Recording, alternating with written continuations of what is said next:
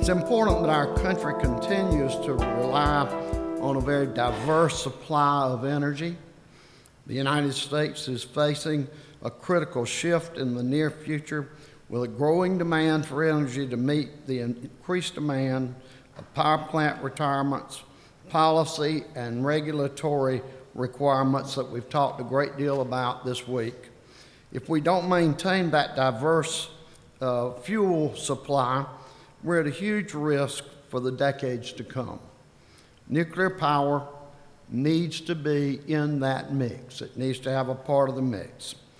Because of the prevalence of nuclear power in southern states, I'm very pleased that our next speaker is with us here to talk about the future of nuclear energy from his very learned perspective. The Honorable William C. Ostendorff began his second term as Commissioner of the Nuclear Regulatory Commission and, and living near a nuclear plant, we never even use that term. It's always the NRC. Uh, and he began in July of, of 2011. His current term will expire June 30, 2016. Mr. Ostendorff has uh, led a very distinguished career. He's an has been an engineer, legal counsel, policy advisor, and naval officer. Before joining the NRC, he served as the director of the Committee on Science, Engineering, and Public Policy and director of the Board on Global Science Technology at the National Academies of Science and Engineering. Mr. Ostendorff was an officer in the United States Navy from 1976 till 2002, and we thank him sincerely for that service to our country. He earned a bachelor's degree in systems engineering from the U.S. Naval Academy, law degrees from the University of Texas, and Georgetown University. Will you please welcome Commissioner Ostendorff?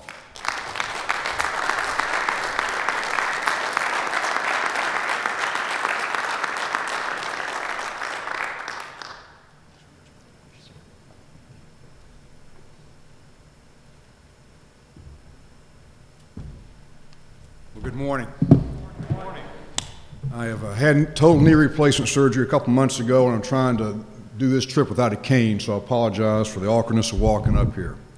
Bill, thanks for the introduction. Uh, my wife and I, shortly after we got married, moved down to Charleston, South Carolina, where I was stationed aboard a submarine back in 1977 to 80.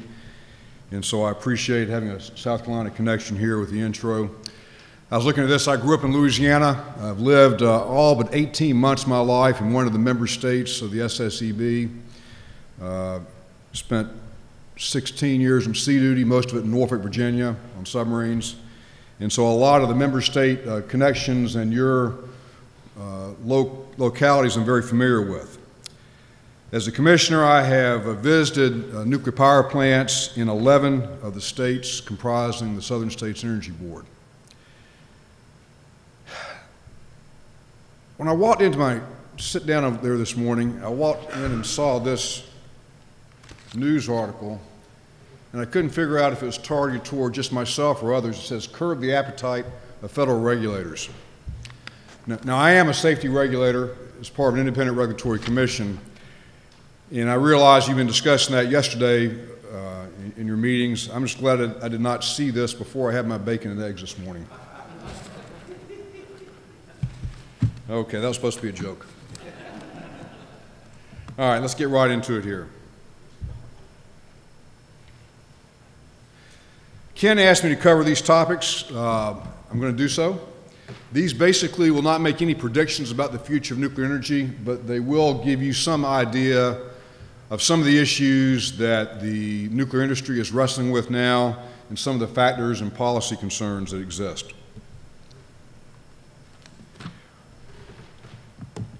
Right now, as I speak today, we have 100 nuclear power plants operating in the United States, and I will also add, as a safety regulator, and having operated nuclear reactors and submarines for many years under the Rickover Navy, I believe these nuclear power plants, from my personal perspective, are being operated very safely and professionally.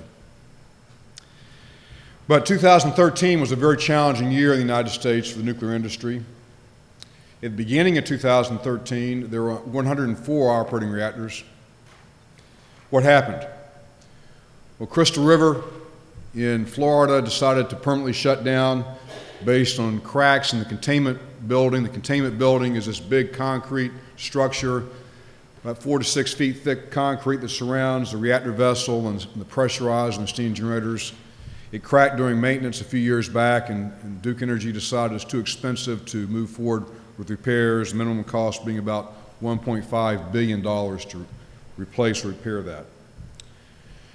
Then Dominion Resources had a plant up in Wisconsin called Kewaunee. And Kewaunee is about a 550 megawatt plant, single unit site, uh, based on the expiration of power purchase agreements. It could not compete with the merchant plant environment in Wisconsin and made the decision to shut down for economic reasons. What is interesting, just down the shores of Lake Michigan from Kewaunee, eight miles away, is the Point Beach plant, operating two units, making about $15 a megawatt hour profit on power purchase agreements to go out through 2031. The economics were killer for Kewaunee. Then in June of 2013, Southern California Edison made the announcement that they would permanently shut down the San Onofre nuclear generating station just outside San Diego. Why? They had major problems with steam generators that had been purchased from Mitsubishi in service less than two years, but had major tube leak issues that could not be clearly resolved going forward. Then, into this year, Vermont Yankee will shut down, uh, and that will leave us with 99 plants as of the end of 2014. So, you know, most would say that sounds like a pretty uh, difficult message. I'd say that most of the issues associated with that are uh, prevalent in the cost of shale gas, the, the lack of a carbon emissions policy uh, that had changed dynamics in the nuclear calculus uh, about seven years ago when people thought there would be a nuclear renaissance. So let's go on and talk about another aspect here. I was asked by Ken to talk about Fukushima Daiichi, the accident that occurred in Japan in March of 2011. I'm going to quickly go through a few slides, cover these at a very high level. How many people here, just as a show of hands, have had a briefing on the Fukushima Daiichi accident? Okay, maybe about a third. I'll quickly go through these.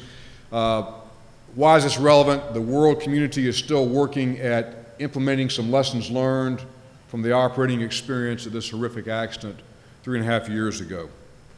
And I'll end up with a slide that talks very briefly about U.S. NRC regulatory actions.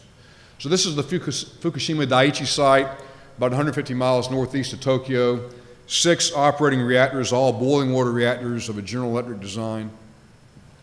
At the time of the event on March 11th of 2011, three of the six reactors were operating, three of them were shut down.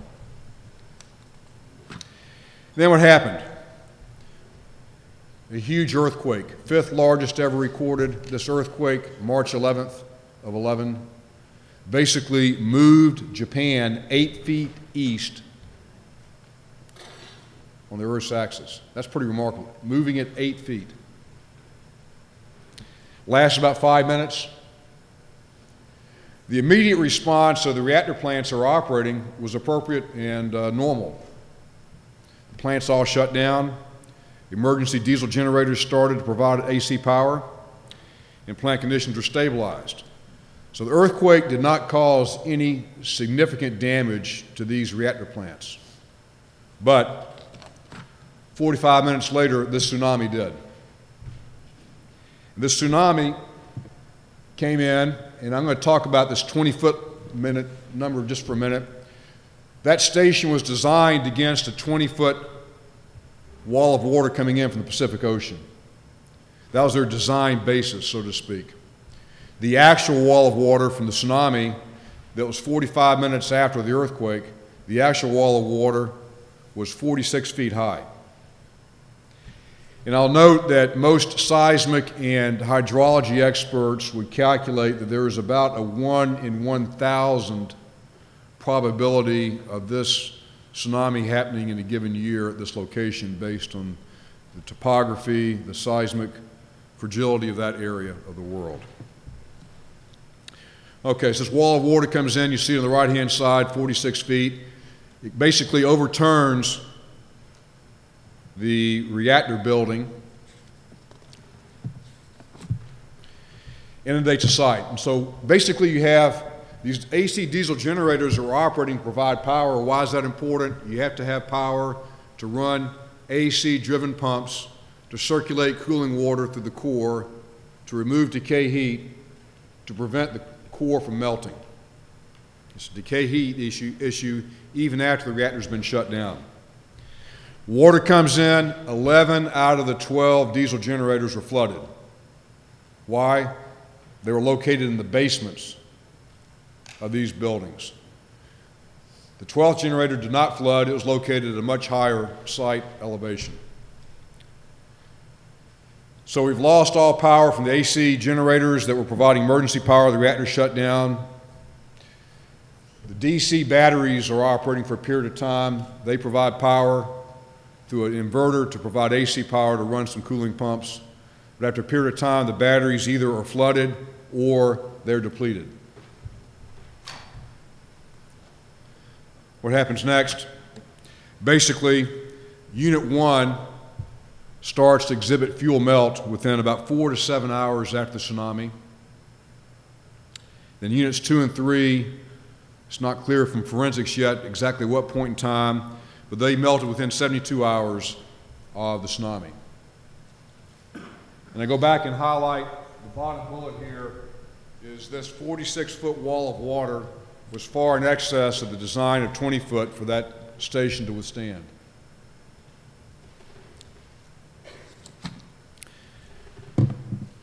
Not only is there the tsunami, but because of the loss of cooling, these fuel elements are heating up very rapidly. These uranium fuel elements are clad with an element called zirconium. Zirconium, in the presence of hot water or steam, generates hydrogen Hydrogen, as we all know, is very explosive. And so we have a series of three explosions that basically blow the roofs off these reactor buildings. And that's what you see here on the slide. Now, I was on site at, at Fukushima with another commissioner in Jan January of 2012 and saw these fairly up close. Uh, pretty horrific image, a lot of damage. That was what the scene looked like uh, three years ago. Where are we today in Japan? I'll summarize the status. Uh, nobody has died as a result of radiation exposure.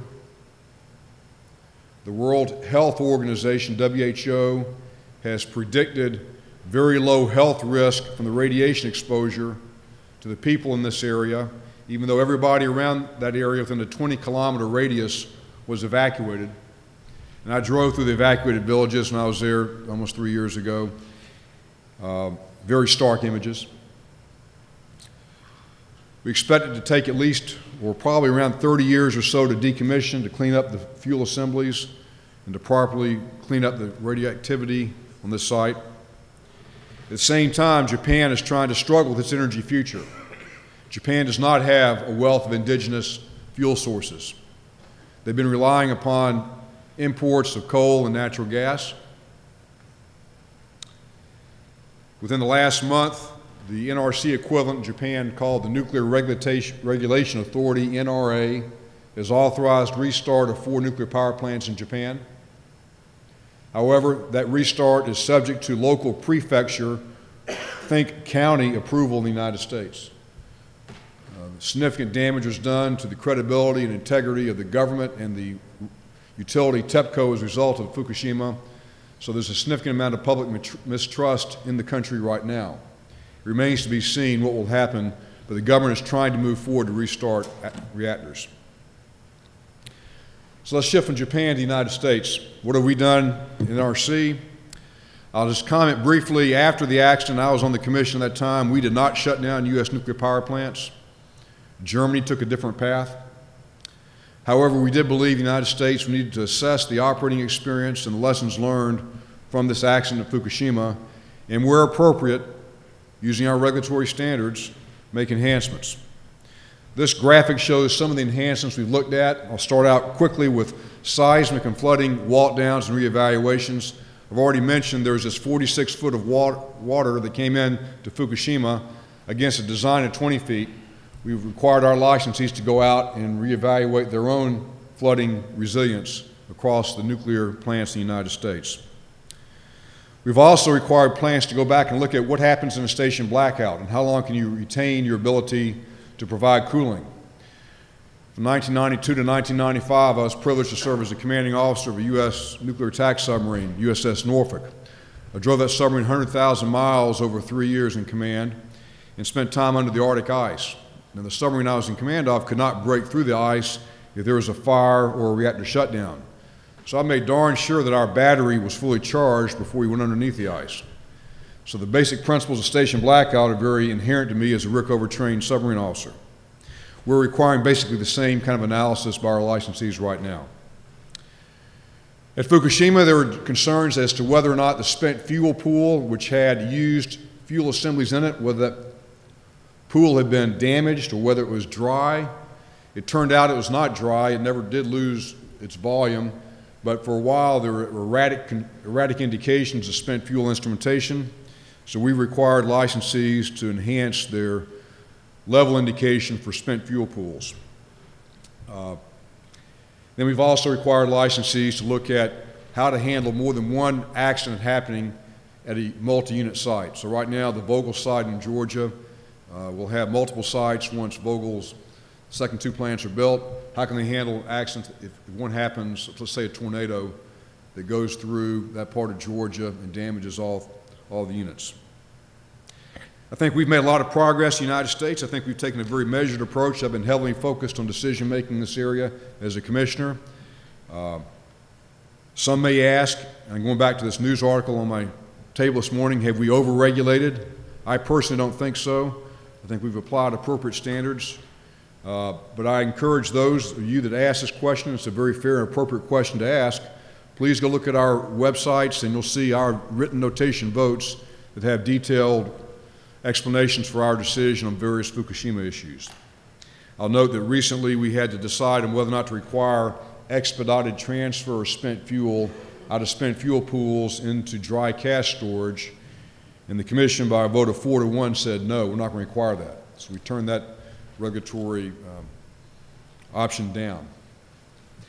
Okay, let's go uh, away from Fukushima. Let's look at new reactor construction.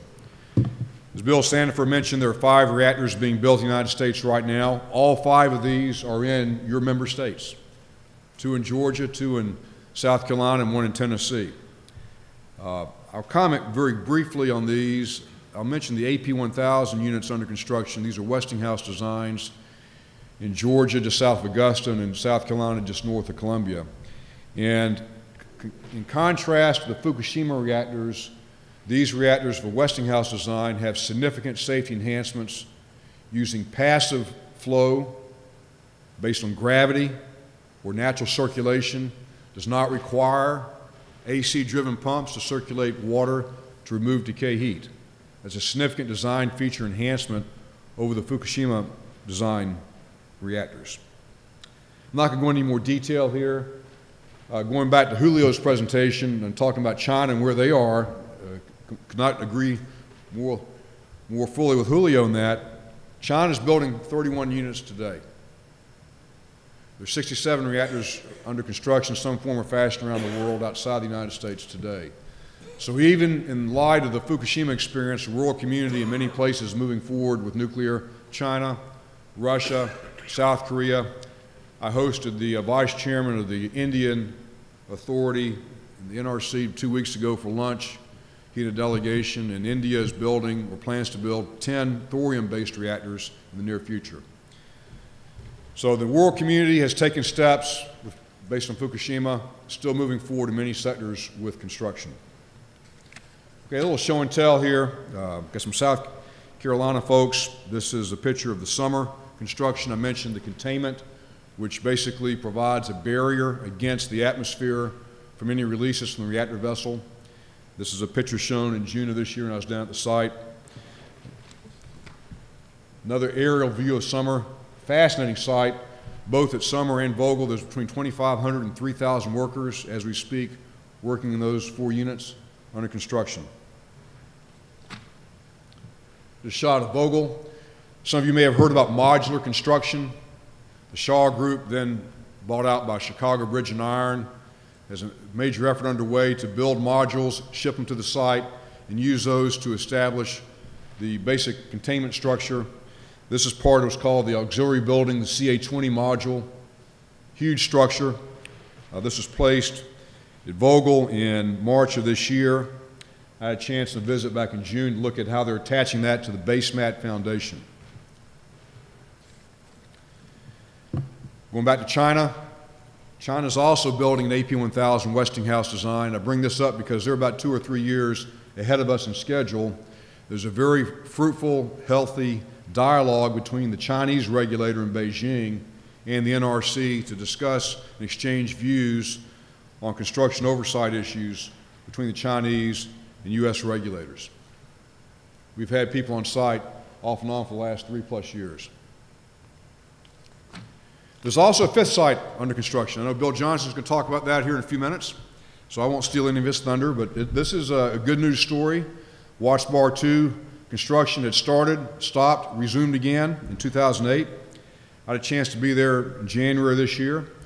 And this is actually the first of these five units that we expect to be going online here, perhaps by late 2015 or so.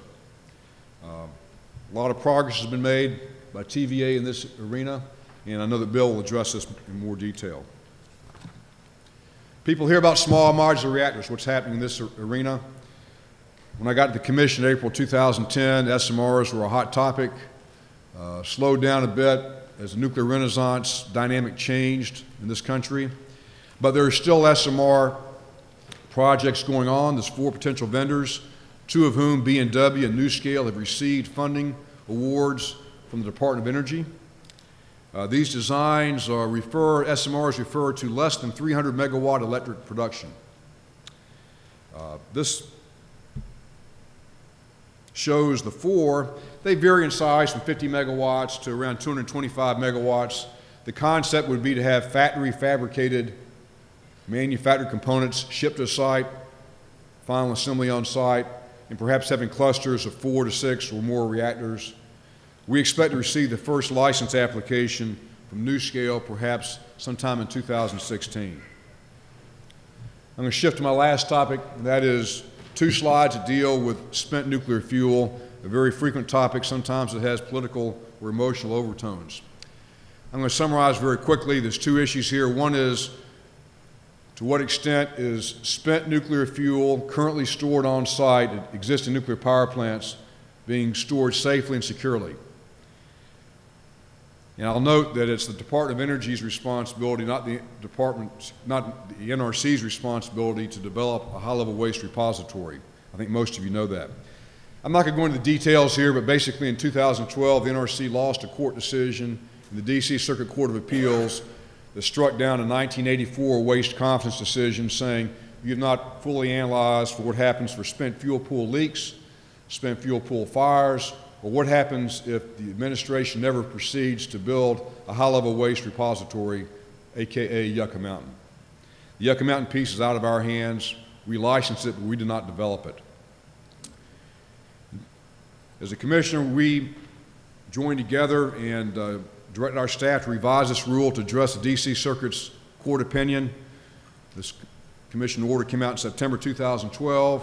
Told them to go back and do further research analysis in these, these areas.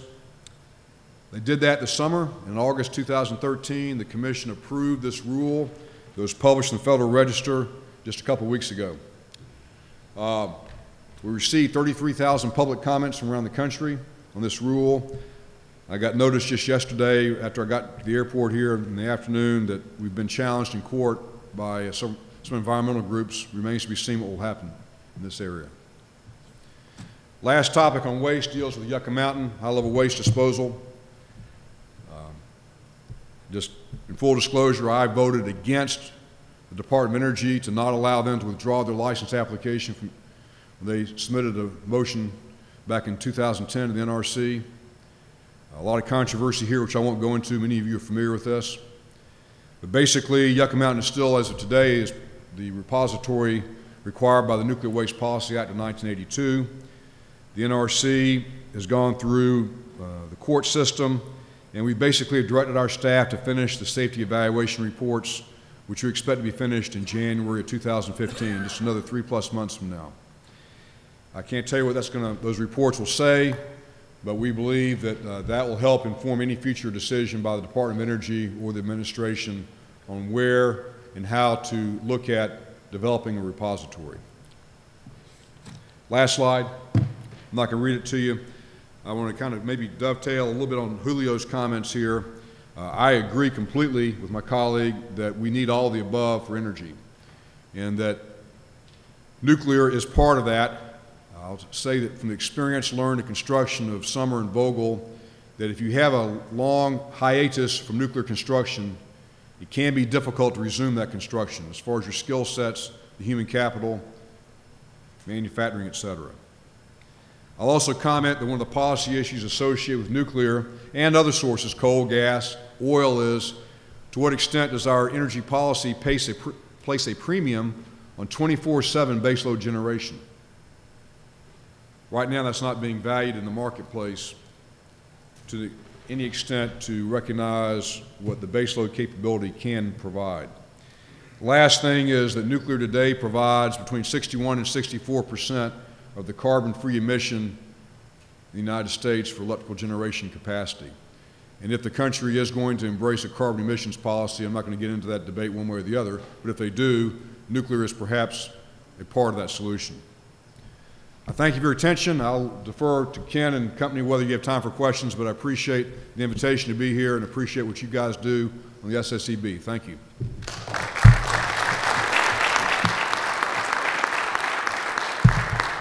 Do we have questions for the commissioner? I, have, I enjoyed your presentation. Thanks, Randy. Um, I, I have a concern about, just last week, we saw where other countries are held to a different standard on the, you know, on the environmental things. And China was exempted from some of those things. Do you have concerns that China was exempted from some of the same standards that we're going to be held accountable on the environmental global change? You're talking about in the nuclear area? no, uh, all there, you know, like I know that they're talking about in regulatory and in the climate change, that they're, it might, may have been dealing with just coal, but that, I have some concerns about China not being held as responsible on their environmental things.